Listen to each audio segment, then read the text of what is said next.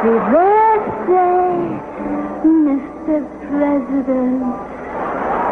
Happy birthday to you. Happy birthday.